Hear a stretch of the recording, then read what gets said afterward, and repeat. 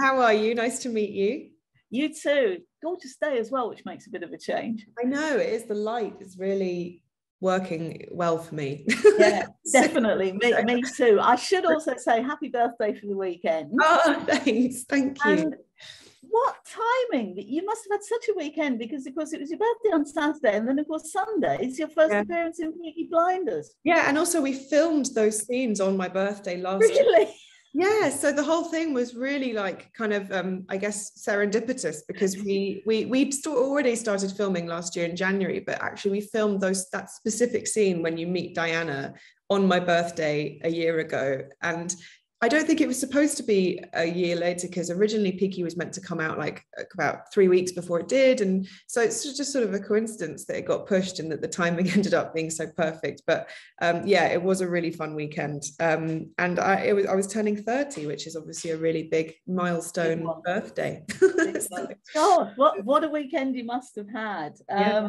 Well, congratulations on what we've seen on your, uh, your performance so far.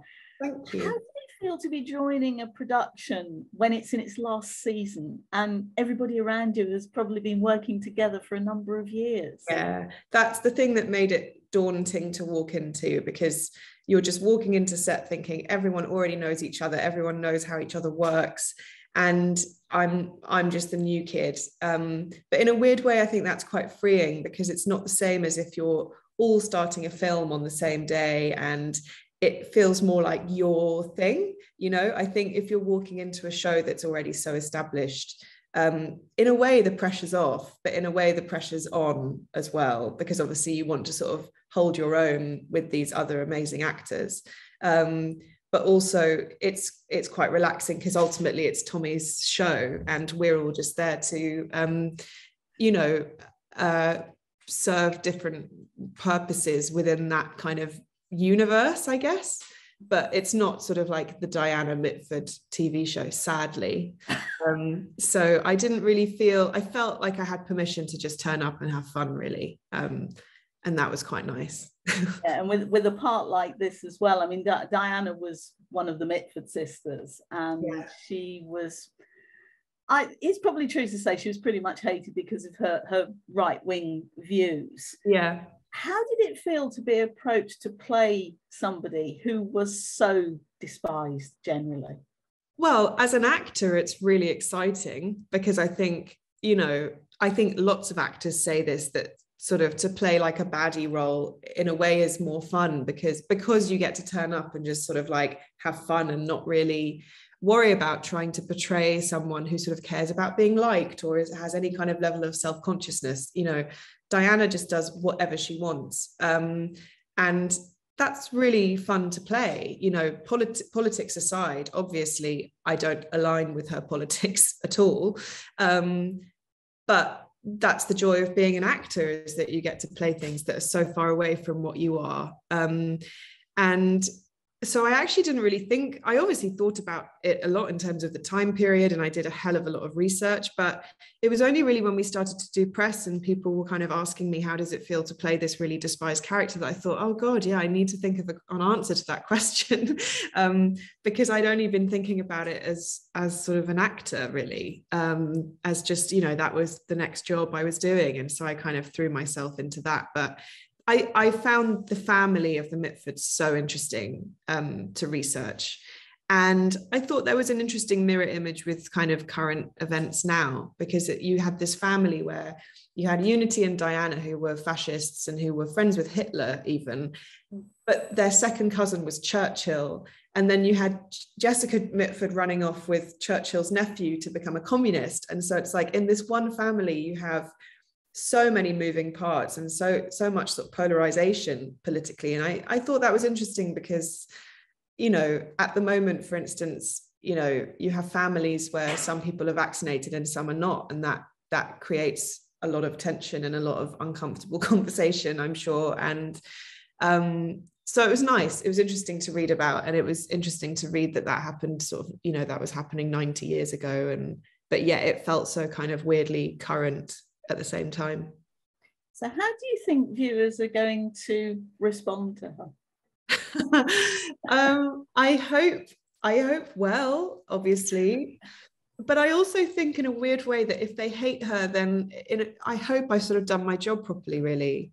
I just hope it's sort of like loving to hate her rather than actually hating me.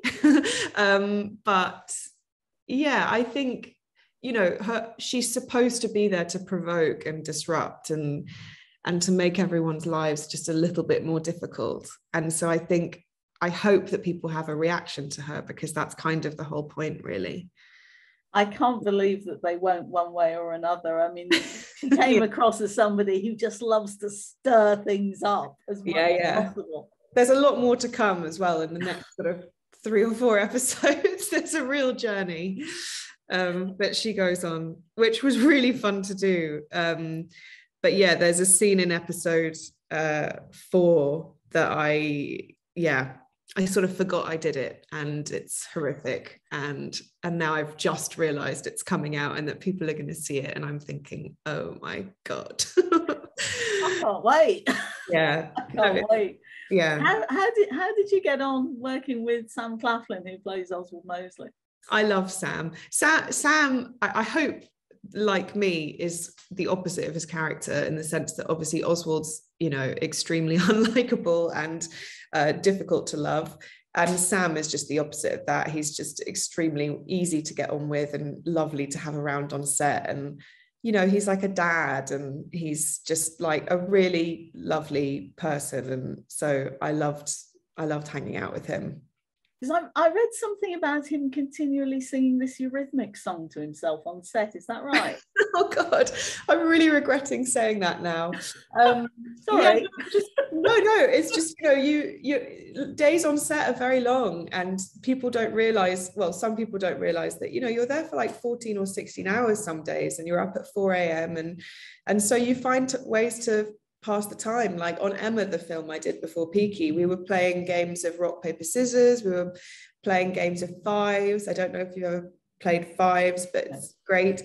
And so I think that was just our version on Peaky of like finding a way for the, the time to pass. so we just what kind of was it? Would just be singing these songs. It was um it was just this one tiny bit from the beginning of a, of a Eurythmic song, which goes um do do do do do do do no more i love you yeah yeah and and yeah. it just became like a weird sort of um tick and we would just it was like you we couldn't stop singing it and i'm sure we became extremely annoying to everybody else on set i'm just wondering if sam had the same sort of vocal range as annie lennox but you know surprised yeah you you mentioned being in Emma, and of course in that one you were playing Jane Fairfax, and you were working with Anya Taylor Joy as well. Yeah. Of course, is in Peaky.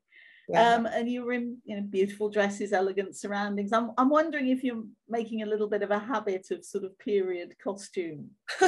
I know. I I think actually weirdly these are the two most period things I've done. Everything I've done before has been a lot more modern. Um, but yeah, Anya and I just we need to you know, I, I, think it's fair to say that it's obvious that our characters in Peaky are not going to be aligned. Um, and I, I, Anya and I are just like, we just need to do something uh, where we play like best friends because we keep playing people who are sort of at odds in some way with each other. Um, and we actually really like each other and get on really well. So I think the next thing we do, we need to play people who who get on well. yeah maybe, maybe third time lucky then. Yeah exactly exactly. Yeah. well i from what you told me i cannot wait for the rest of the season particularly now episode four. Yeah. Um because i think diana's going to be an absolute handful. Yeah. And she, from your perspective she's great because you can really get your teeth into a part like that. Yeah totally. Oh my god it was a gift. Like I, it wasn't even a question. You know when you ask about the kind of the the political sensitivity of that role like I totally get it, and I, obviously I'm I don't agree with her politics at all. But when I got offered that part, it was like there was just no question whether or not I would do it because it's just so fun to play someone so kind of shocking and you know irreverent. Yeah. Well, roll on the rest of the series because I can't wait. And it's been lovely to talk to you. Really appreciate Thanks. your time. Thank um, you. Thank you so much. Ladies and gentlemen, you're watching HeyUGuys. Hey You Guys, huh? Hey You Guys. Is that from the Goonies? It is indeed, yes. Nice. Hey!